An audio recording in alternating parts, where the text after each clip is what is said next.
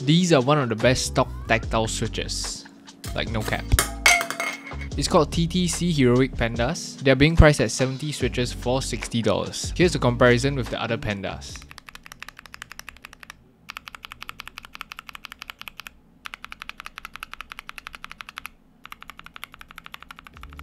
And a full typing test.